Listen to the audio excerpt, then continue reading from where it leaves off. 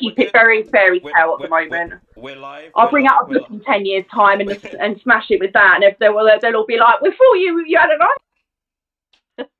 Okay, sound is back, guys. So sorry to cut you off, honey. Um, I was asking you about your childhood, what it was like for you growing up as a child, and um, you were gonna say.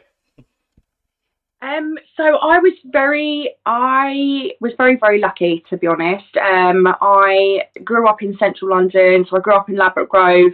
It was rough, um, but when you grow up around that, you don't know anything different. You know, you don't know what else to to relate it to. So um, it was just the norm for me, really. Um, but we was we was very, very lucky at the same time. I had grandparents that lived in Devon, um, so we used to spend all our half terms and our Christmases and birthdays and all that sort of thing in the countryside where we'd be walking down country lanes and going down to the farmers and you know watching the cows being milked and all that sort of thing you know so it was really like we were we were country bumpkin kids at the same time as being very much city kids as well so yeah we um i think it's it's a beautiful balanced way to grow up whereas um a lot of kids don't don't get that you know so i always felt I didn't realise how lucky I was to have that until I got older, basically. Okay. Fair enough. Um, so yeah, So you mentioned you mentioned so it sounds like you had like a really cool, chilled, privileged childhood, and then I hear you start talking about um, pole dancing for Spearmint Rhino. Was it Spear? Is it Spearmint Yeah. Rhino? it was Spearmint Rhino. Yeah, I was there for about three years, just under Okay. three years. How did you get into that then? What what made you decide to like get into that? Oh, do you know what, Bruce? It's um, it's a bit of a mad one, really, right? Dan, I don't know whether you can relate to this at all, but I always wanted to do it from when I was really young, and I know that sounds a little bit fucked up because I've never ever been into a strip club before. I put I blame it on films, basically. But I just, from the age of about 13, 14, like I just, I, I think I must have seen it on TV or something and just thought, wow, that looks amazing. Yeah. And I was always a bit of an attention seeker as well growing up. So it just, I just wanted to do it. I just, I was very drawn to it. And I'd never been in a strip club before. Um, but I was always like, I had a little bit of a tomboy side to me growing up as well. I always got along with guys more than I got along with girls. Girls I always found were a bit more bitchy and I was a bit more rough and tumble. So I just kind of related to guys a little bit more in some ways. Um, and uh, yeah, so from the age of 19, I was just, I was still 18 actually when I left hairdressing. I just qualified my hairdressing Wow. um, in a really, really prestigious hairdressers. And my mum's a hairdresser as well. So she was, um, let's just say she wasn't happy about me leaving hairdressing to go and pursue taking my clothes off for a living.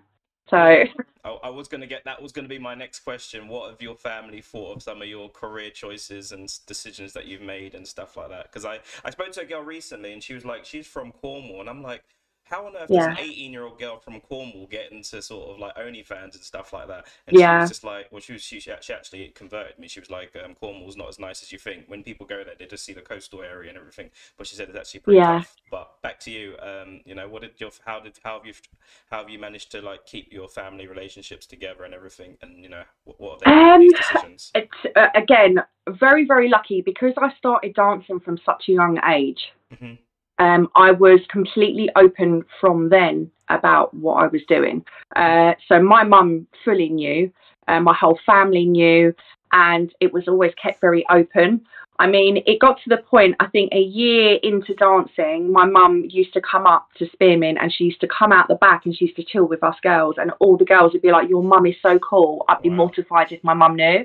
And she, but my mum would be standing there getting her spray tan done and we we we um, we had a laugh with her one day because I mean there was a lot of girls I used to dance with. It was the biggest strip club in the whole of London at the time. It was rivaled with uh, with Stringfellows, and um, and basically uh, we uh, we said to the one of DJs, DJ Dave, and we said, Dave, call my mum onto the main stage. I dare you to call my mum onto the main stage. And he was going, Kathy onto the main stage, Kathy, on-" and she was like. "Oh, So everyone just thought she was brilliant because she's my mum's just so down to earth. So um, I was very, very lucky in that respect. I've always been very open with things and with my webcam modelling uh, history as well. And yeah, it, I, I can't imagine how difficult it must be for some girls that are, you know, only just getting into it. Whatever age you are, it's always going to be difficult breaking that to your family, you know. So yeah, that must be tough. Okay, I've, I'm gonna I'm gonna give you a break for a second now. There is a question that's st- stim- simulated on my screen at the minute. I've got a, a random question simulator. It's nothing crazy. Um, I had a, I've just I've just seen it. Uh, Danny, I'll go. I'll, I'll send it to you. What's something you know you know now that you wish you knew ten years ago? What's something I know now that I wish I knew 10 years ago? Yeah, Not to be, with, um, for me, but just for you, just for you. Yeah. Yeah, not to be, not to be um, in addiction and that I wish I could rewind 10 years ago so I could have, I would have a fresh start again. Okay. What what sort of choices? What sort of different choices would you make that maybe you know led you to your sort of Well, I certainly wouldn't be an addict. that would be Devo's first choice. Yeah. Okay, cool. Uh, I'll send that straight over to you then, honey. Something you know now. Something you know now that you wish you knew ten years ago.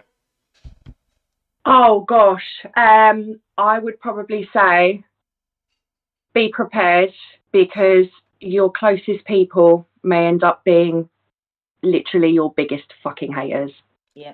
And you you just don't think about it at the time, and especially if you've had friends for a long period of time as well. Um, people can turn on you. I think well, people change. You either grow together, whatever type of friendship or relationship you're in with with whoever, you either grow together or you don't. Um, so sadly, these things happen, don't they? But yeah, I mean, there's a lot of things. Well, marriage doesn't last. That's another thing as well. Okay. Learned that one the hard way. um, oh gosh, I could give you a list of things, but they're definitely two at the top. Fair enough. Fair enough. Fair enough. Um, so you mentioned marriage. Um, I'm not going to have a deep dive in it, but just basically talk to us a little bit. You know about because you said you're a sing- you're you're you're you said you're a single mum now. I remember if you think you were saying to me. I am. I am a single mum. I love being a mum. I've I've done it on my own, on and off throughout the years. Anyway, it's just second nature, as I can imagine with you. That you're single, you single mum as well. You just do it, don't you? They're your kids, Yeah. and you just crack on with it. Um, it's hard, but that's life, and it's cool. Um, it's mad because I spent the best part of about 13 years in three back-to-back relationships where we were either having kids, engaged, or married. Wow. Yeah. Um, and so I've come out of that a couple of years ago. And I mean, my son is 15 now. I don't ever want to bring another man into my son's life. The only ever uh, other men I ever brought into my son's life was when I was engaged to him. Yeah. You know, Yeah. so um, I'm just at that point where I want a bit of life for me now. You know, and when the kids get a bit older, I'm like, like you know, you just get that sense of freedom back again, and you almost, I almost feel like I'm starting to pick up where I left off at the age of 21 Yeah, like but with an older head. Yeah, like you get a bit of self. You've got to have a bit of self development and 100%. Hundred percent love yourself Yeah, and start be and be who you want to be. Yeah, a hundred percent, and no fucks given. Um, you only get this one life, and you just got to grab it with both hands and just. I want to experience everything life has to offer. And when you've dedicated your life to raising kids and having a family and being a house house mum or you know a wife and and, and running a home and, and working at the same time and, and raising your kids, you are dedicated. You are you put yourself at the bottom of the list. You do it willingly. Um, but when they get older, time for you. Do you know what I mean? So, but it's it's a very fine balance at the moment because I didn't um, plan to be opening an OnlyFans account so soon. I wanted to wait until my son was in college, so that's like another six months time. But as I've started to put myself out there a little bit, just kind of figuring out social media and testing the waters with things, mm-hmm. I had no idea or expectation that it was going to blow up the way it has over the last sort of six weeks. So I've had a conversation with my son. He's happy with it. He's like, Mum, go do your thing. I got you. So if that basically the bottom line is, if at any point um, I'm ever doing anything that's detrimental to my son, Yeah, it off. yeah. I'll, I'll, I'll close every account down in an instant and just be done with it, you know. So it's all about him. Yeah, you seem So- like you're in a quite a privileged position. I mean, you said your family Very. very supportive, and and your Yeah. son's very supportive. I mean, I've got a 15 year old son as well, and if if if Have his mum, you? if yeah, if his mum if his mum mentioned something like that, you might um he might he might have something to say about it, you know. But um, Yeah. you seem like you and your son have a really strong relationship where you sort, of, you Oh. sort of just. I think I So don't think, tight. yeah. That things it sounds it sounds really strong. It does sound really beautiful. The sort of relationship that you've got. Don't Yeah. Start, don't start crying now. I can see you're welling up a little bit. Oh, don't give it, Brucey, baby. Yeah, you might make you might make me cry. No, seriously, don't, because this mascara is Oh, very barely enough. holding on as it is. Fair enough. Fair enough. All right. Um, let's talk about experiences within the the stripping industry at the minute. Then. So Oh what- fuck. Okay, go on. okay. what do you want to know? There's a I mean, lot. obviously, obviously, there's a there's a perception out there that if you go to a strip club and um, you go to the back room, you get a dance, whatever, um, and if you pay and you get extra, you get DJ. you- Well, I'll I'll tell you a, a deep story, right? So, um, obviously I worked at Spearmint, and it was in Tottenham Court Road, so it was Mhm. their biggest central club, and I started it at the tail end of the the heyday of dancing, and only about sort of two years, a year before I started, so that's going back twenty years ago. Um, they had had a massive uh, dispute um, where basically they had been accused of a lot of the girls going out the back or going up. There was apparently these uh, private rooms somewhere. I mean, I worked there three years. I don't know where these private rooms were that people were talking about that were so Yeah. hidden. Um, but anyway, so basically, it turns out that Peter Stringfellow had put these stories out to try and sabotage Spearmint Rhino because it was his rival club. Okay. So basically, there was this massive court case that went on, and um, they Spearmint got a load of their girls to testify and that sort of thing. And that court case had only come to a close about a year before I started. So I, the first year I started, it was really, really busy, raging, easy to make money. And then as the second year, and then the third year came, it became a lot harder. There was a massive influx, and I'm not racist at all, at all, at all. But Mhm. there was a, a lot of sort of foreign girls coming over. There was a massive influx of foreign girls that came over. Yeah. And um, what was happening was a lot of girls were offering to do extras outside the club for half the price of what we were asking, charging for just the dancing to Just for them. the dance, yeah. Okay. So it suddenly overnight became so much harder to earn money. Yeah. Um. So that was like my cue to get out, to be honest. And then I met my son's dad, and we decided we wanted a kid, and I left. So it was time for me to go. It was just, you know, that that was that was my path, and it was meant to happen like that. But God knows what it's like now, to be honest. I think I think But yeah. yeah, I think it's all gone to OnlyFans now. To be fair, um, literally, Yeah. gone. We will go into that a little bit later, a little bit like towards the end of this. You can obviously. I, I tell you I tell you something guys right so there's there's one thing so it with dancing um and obviously a lot of what's going on now with uh, social media with the whole OnlyFans thing and webcamming and stuff like that you know now we're doing things through a screen it's very very protected Yeah. do you know what I mean Yeah. um, but when it comes to dancing, you're face to face with someone. You know, it's a physical, a real physical thing face to face. So this, you know, it, it's a lot more risky. You can get people following you home. I was attacked really badly um, not long before I left there as well, where I was followed. Um, so yeah, I um, it's it's funny only because and I'm only bringing this up because I've had such mixed reviews from people about Yeah. me at the age of 28 now doing earning money through a screen compared to when I was dancing and they had absolutely no problem with me dancing and getting my vagina out at the age of 19.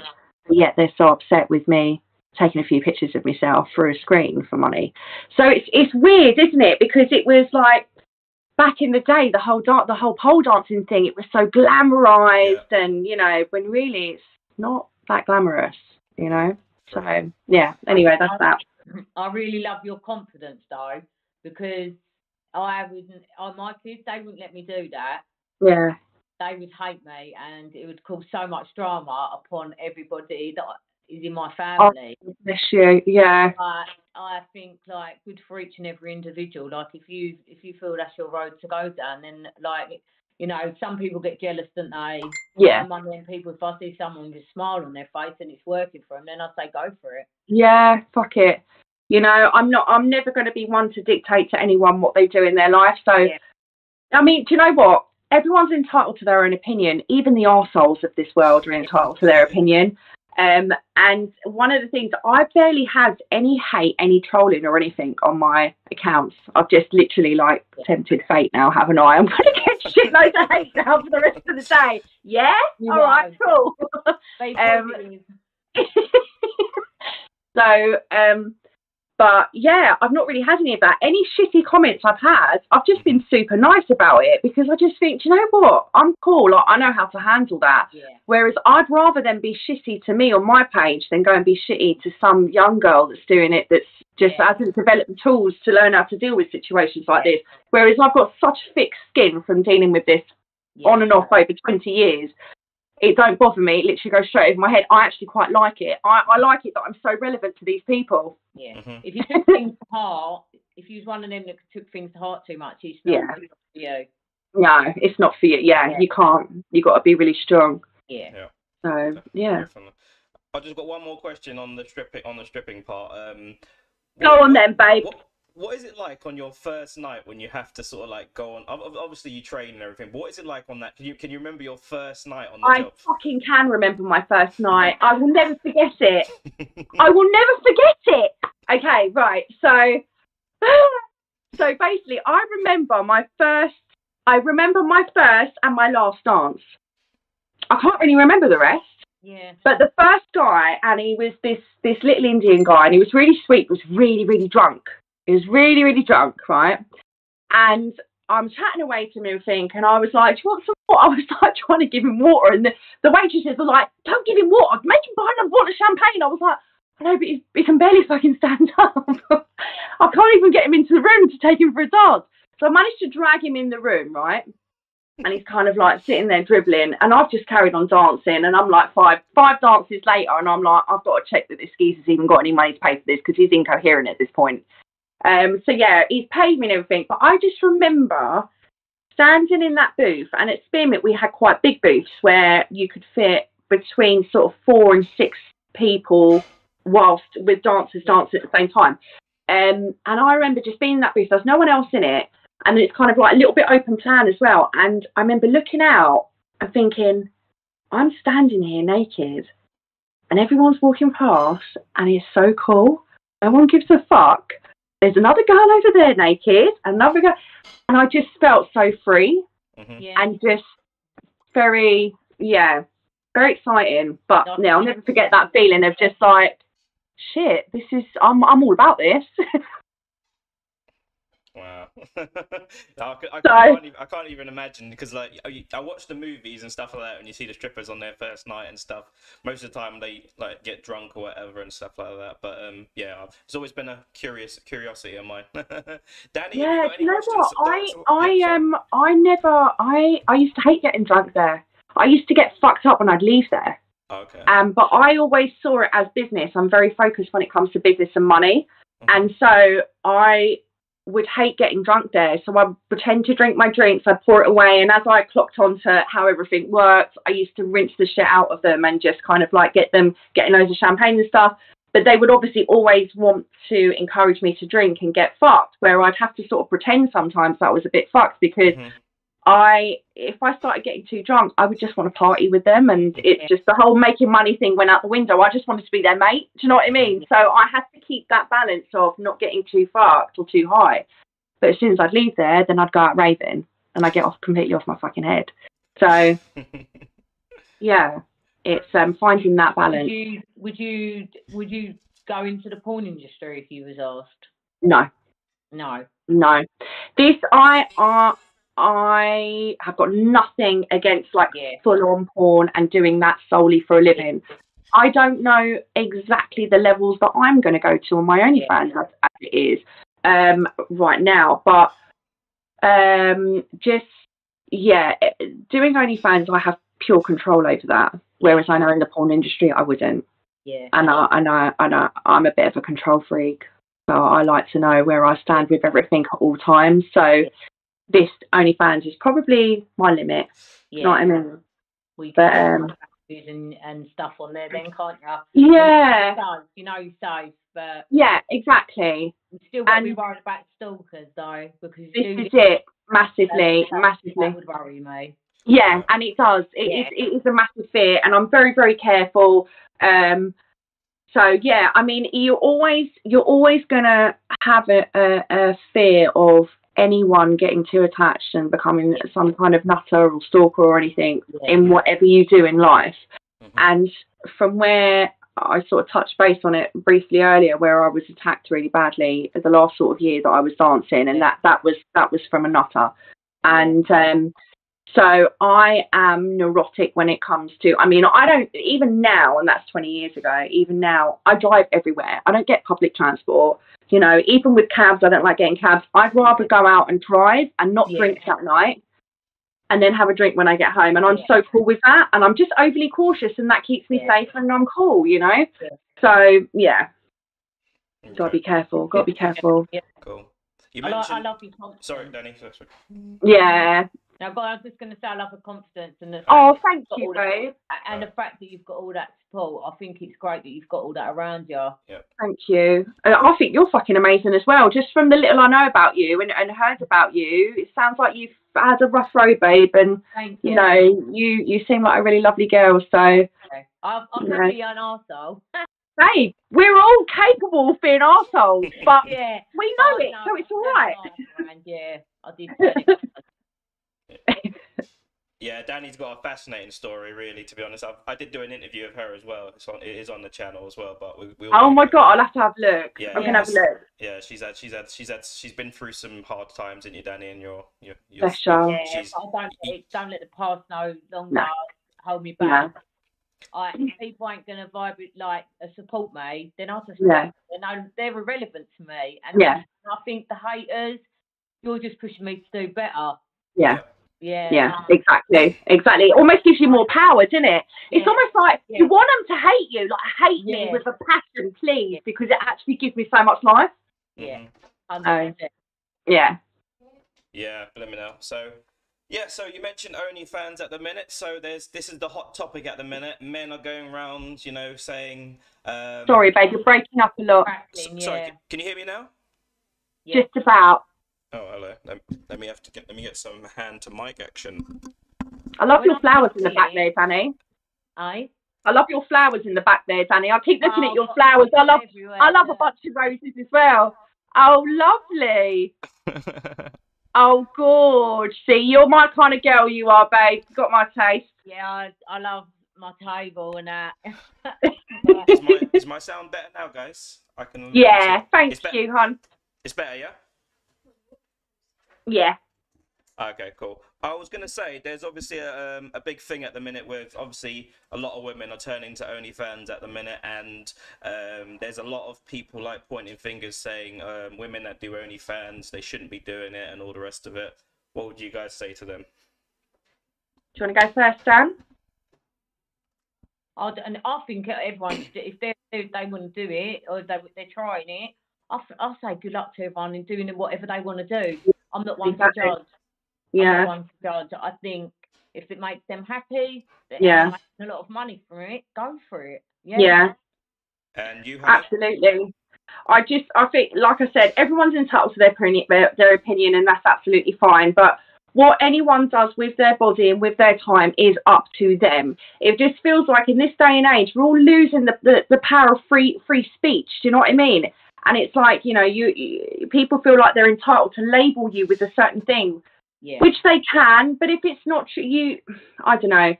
It's either going to make you stronger that that sort of um, resistance from people, or it's not. Um, and if it doesn't make you stronger, then you shouldn't be in the industry anyway. So I can think it's a good test, you know, to have a bit of shit at the beginning, to you know, to, to sort of push you to that level to see if it's going to break you or not. Um, yeah. Okay. Yeah, I just um I just think you've got to go for these things in life. You've got to try it. If you want to do it, fucking do it. yeah, Um, for me, for me personally, um, I've got a plan. I've got goals and targets with it that I want to hit, and then I'm out. I'm done. Um, what you were saying about porn earlier, I mean, never say never, but yeah. no, it's not. It's not for me. if you do. Well, I mean, listen, if I make it, right, you heard it here first. If I make it, which I really hope I do, or at least just make enough money to get myself out of debt, that'd be lovely. Um, so if I if I made it, uh, and in a year or two years time, and I've had a really good run of it, and I've done well out of it, and I had some porn company come to me and say, would you do one porno for like a million pound? I'd be like, do you know what? Fuck it. I'll do that one and then I'm out, mate. Do you know what I mean? So that's when I say never, greedy. And Yeah. fuck it, I'll No. do another one. No, No. no, not at all. Nah, nah. Yeah. I, I know what amount I want and then I'm out. I'm done. Yeah. So I think Yeah. a lot of I think there's a lot of girls that get into it now, and they just sort of like young girls. They get into it, and they'll like I know I met um, I recently spoke to a girl recently. She was like, I made like fifteen hundred pound on my first day just showing pictures of my boobs, and No. like I was like. I was like, you know what, yeah, guys are giving girls some shit about this OnlyFans business, but I'm telling you, any money, I, as I said to them, if guys could make the same sort of money wiggling their dicks on camera, they'd be doing it. 100%. They'd be doing it. Hundred I, I would be the first person sitting there spinning around doing it. If I could make fifteen hundred pound a day doing that, and some of these girls are making crazy money, um, and well, I had a girl on the other day. You lot probably seen the video, an OnlyFans girl. She said that um, some guy was asking her for. Uh, he had a special request. He wanted her to fart on the phone, and he was. willing Oh, I heard that. Yes. Yeah. he wanted her to he's fart on the phone. serious. Do it. I'd get one of the kids to do it. Be like, pass on the phone. He's a fiver. Yeah. So it's the same. It's the same guys that are having a big problem with this OnlyFans thing. Um, they're the ones that are buying these pics anyway. You know, it's just you know they're unhappy and they just can't. I just think you know they're unhappy in their life and what they what's going on. I don't know. For some Yeah. reason, for some reason, men at the minute they just they just they've just lost the art of how to approach women and actually like you know actually meet real. Guess so. Yeah, I mean, I don't really get out to be honest. I only really chat to I my, don't. my followers. Um, I um, yeah, I don't know. It's you just got to let that shit go over your head. You have to. You have Mm. to. But you're only really going to be able to do that if you've got the confidence. If you if you just know it deep in your soul what you're all about. You're not ever going to allow that in. So I think it's probably anyone getting into the industry. They've got to get to that own personal place within themselves before they start doing it. Otherwise, it's going to be a rough road for them. But I just, yeah, I rate anyone that just pursues their goals and dreams and aspirations. To be honest, go for it. You know, Journey, fucking go for it. Yeah, Everyone's got their own Yeah. journey. hundred percent. You know, um, yeah, it's life, So, isn't it? so, But so I you hope was- you smash Thank you, babe. Thank you so much. Appreciate that. Yeah, And good so- luck to you as well and, and everything that you're pursuing. Thank you. yeah. Uh, so I was just going to ask. Um, so if And let's you, just- Brucey, baby, we're not leaving you out. Oh, okay. Don't worry. Don't keeps, worry. she, Uh, keeps calling you Brucey. I know, said to him last night when he rang, I said, I said, can I call you Brucey? And he went, okay. And I, I said, I'm the only one allowed to call you Brucey. And he went, okay, honeybee. And I went, all right, Brucey, baby, I'll see you tomorrow. Oh, don't. Oh, I'm blushing over it. I'm blushing. You gone ready? okay, so Danny, this is this. So, um, honey, sorry, this is your opportunity to tell us where we find you. Um, you know, um, where can people find you? The name of your OnlyFans as well. Um, so we can tag that up here as well. I'll put that in all the comments and everything. So I'll put that in the description of the videos that I upload. So just tell people about your OnlyFans name and where they can find you and where to send where to send the um the fart requests to get you to fart on the phone and stuff. Sorry, you're literally breaking up so much. Oh Can no. you hear me?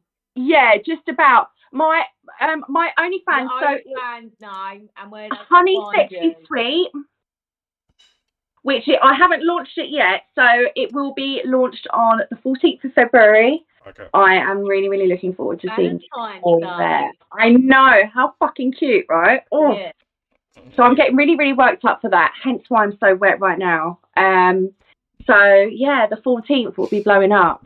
And don't worry, I'll be putting all my links online. Um, it will be on my Insta bio, um, which you can find me on my Insta at Zoe Delahoy, which is Z O E D E L A H O Y, and obviously Honey um, underscore SS on TikTok as well. You'll be able to find the link there too. I've got you. So yes, yeah, we'll have it all written down anyway. So Okay, cool. Um, Very Danny, is there any, anything you're curious about um, with Honey you want to ask? Yeah, I think I've asked her everything. I'm just I'm excited to see where you're at. yeah, I'd love to come back. Yeah, and I think it would be nice to keep like see how your journey's going on, on- in a couple of months. Like I, I'm just curious to see. Me too. I'd love to come back. And what stories you all have to tell us. Fuck from- yes. I'm going to have you've gotta to pick do. stories for you Yeah. lot. I'm intrigued to know what you're going to be asked. Because I'm very, very I adventurous, you know. see. So I'm I'm up for anything. So there will be a lot of good stories. Hang on. You got body confidence. Do you know what I mean? You don't care. So that's the way Yeah. to be if you're going to do that. You're in that industry. So Yeah. go for it. Fucking smash it. Thank you, babe. Do you know what? It's mad because things like this and things like social media that that makes me a little bit nervous. But doing something explicit, I'm in my element. yeah. So it's weird, isn't it? I'm fucked. All right. Something's uh, fucking mentally wrong with me. You- have you got your nipples out? You next time you'll be all right talking. I would. I don't want to come out. Can you see me? I keep touching my tits. It's like a comfort. It's like a comfort to me for like hold hold my fucking vagina or something. Go all right. for it. all right. All right. All right. Um, Sorry, that note- sorry, Brucey. No worries. No worries. No PG, worries. Um, PG. Sorry. We're definitely gonna we're definitely gonna have you back on again, honey. So like we're gonna definitely have you back on. Definitely have a like a, a much more full Thank you, babe, well, and thank well. you so much for inviting me on. I really appreciate it. You are the first person to interview me, Oh, so thank you so much. And Danny, it's been so lovely to meet you as well. Both of you have been you. A star. Thank you so much, Okay. and Um, I'll see you guys soon. I guess. Okay. We can't let you leave until we do it until we see an outfit check. The fans are asking. Okay. Outfit check. All right. Cool. One sec. Go for it. Go on, girl. Can you see me? Yeah. Yeah, we can.